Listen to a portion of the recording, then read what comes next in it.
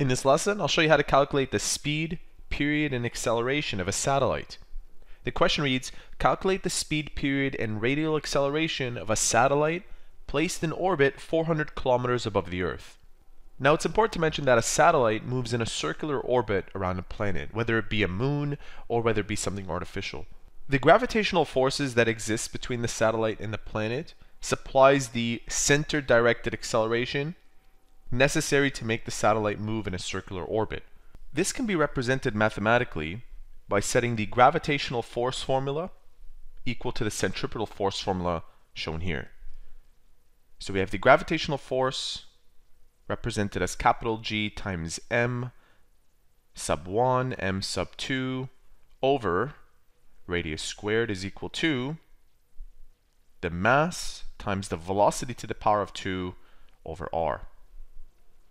Now if you analyze this equation further, you can actually solve for v, which will represent the speed. And once you've solved for v, you can use this formula which replaces v with 2 pi r over t, and that represents the linear velocity along a circular path. And the radial acceleration can also be found by substituting your velocity in for the centripetal acceleration formula shown here. Now if that's confusing to you, let me show you what I mean.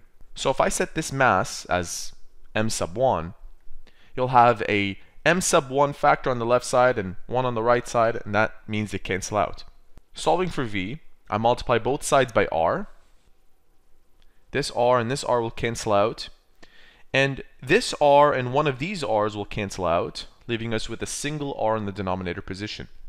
So I have g times m sub 2 over r is equal to v squared, and we square root both sides to get rid of that exponent 2. So if I square root both sides, I end up with the following. Now if I want to find the speed of this satellite orbiting the Earth, m sub 2 represents Earth's mass, and that's 6.0 times 10 to the power of 24 kilograms. So I'll substitute that value into there. I'll substitute the gravitational constant in for g, and in for r is the orbit that's 400 kilometers, but of course you need to represent that in meters, okay? And you also have to include the radius of the Earth. So it's the radius of the Earth plus 400 kilometers made into meters. Let me show you what I mean. So I'll write down radius is 4 times 10 to the power of 5 meters plus the radius of the Earth, and normally that's given to you in the question. It's not given here, but normally your teacher will provide it for you, and it's 6.4 times 10 to the power of 6 meters. So all of that, the sum here, will go into there, and we have everything we need to find the velocity. Using our calculator, we'll write down the square root of the value of g, 6.7 times 10 to the power of negative 11 that gets multiplied to the mass of the Earth, 6.0 times 10 to the power of 24. And that gets divided by the sum of those two values. I'll move my calculator. So the sum is 4 times 10 to the power of 5 plus 6.4 times 10 to the power of 6. Close parentheses. And that means the velocity of the satellite is 7,688. I'll simply round this down to three significant figures uh, as 7,690 meters per second. Those are the units for velocity. Now, we also need to know the period. And we will set this equal to the linear velocity along a circular path formula. So I'll set that equal to 2 pi r over t. And by solving for t, the time, we found the period. We have the radius, and it's this value right there. Again, we have to sum it up. And solving for t is not hard. We just multiply both sides by t and then divide both sides by the factor 7690. So if t is equal to 2 pi and the sum of those two, whatever it is, over 7690.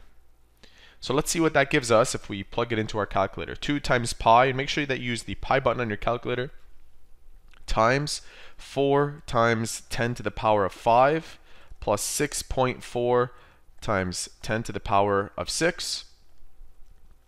Divide that by 7690 and we end up with a period being 5560.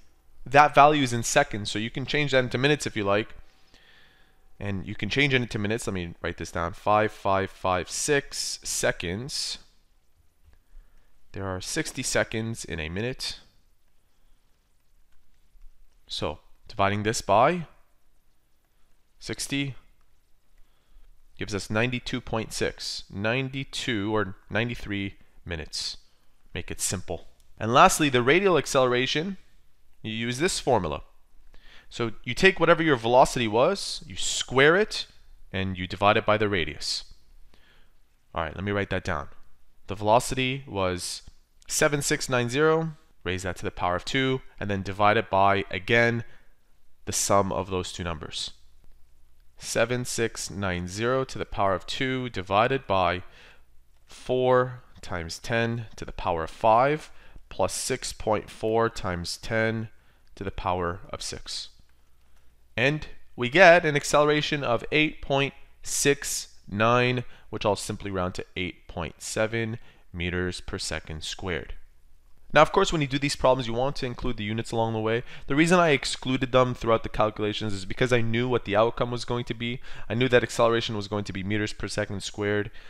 And I knew that the velocity was going to be meters per second. So I didn't want to run through all the units and it would make a mess, but you get the idea. And there you have it. That is how to calculate the speed, period, and acceleration of a satellite.